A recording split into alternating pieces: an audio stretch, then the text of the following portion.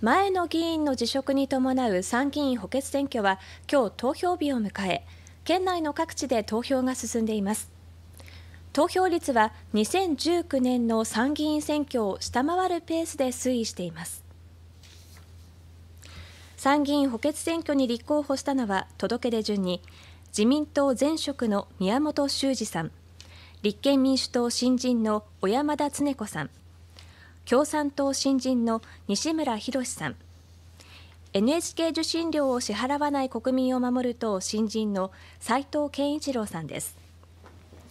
投票日を迎えた今日県内の投票所には朝から有権者が訪れ1票を投じていました。午後5時現在の推定投票率は13.12%と2019年7月の参議院選挙を8.62ポイント下回っています。また昨日までに期日前投票を利用した人は12万8313人と2019年7月の参議院選挙と比べて3割余り減っています。投票は一部地域を除いてこの後午後8時に締め切られ即日開票されます。